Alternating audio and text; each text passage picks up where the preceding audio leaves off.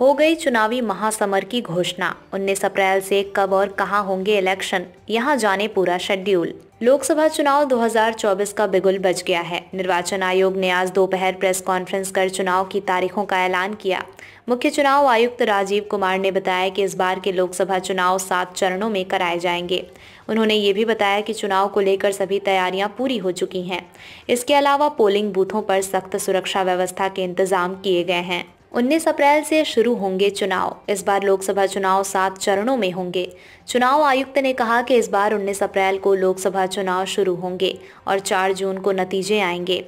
सातों चरण इस प्रकार होंगे। पहला चरण 19 अप्रैल, दूसरा चरण 26 अप्रैल, तीसरा चरण 7 मई, चौथा चरण 13 मई, पांचवा चरण 20 मई, छठा चरण 25 मई, सातवां चरण 1 जून, नतीजे 4 जून।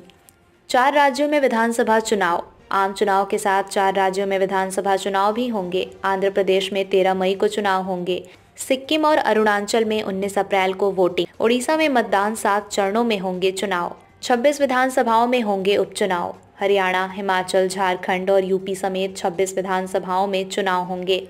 हरियाणा, हिमाचल, झारखंड और यूपी समेत 26 विधानसभाओं में उपचुनाव होंगे। इस बार संतानवे करोड़ वोटर्स, मुख्य चुनाव आयुक्त राजीव कुमार ने कहा कि देश में छानबे दशमलव आठ करोड़ वोटर्स हैं और 10 लाख से ज़्यादा बूथ वोटिंग के लिए होंगे। राजीव कुमार ने कहा कि हमारे देश के चुनाव पर पूरी दुनिया की नज़र होगी। उन्होंने कहा कि इस बार एक दशमलव आठ करोड़ मतदाता पहली बार वोट करेंगे और कुल इक्कीस दशमलव पाँच करोड़ युवा वोटर्स होंगे। पुरुष मतदाताओं की संख्या उनचास दशमलव सात करोड़ है। चुनाव आयुक्त की बड़ी बातें।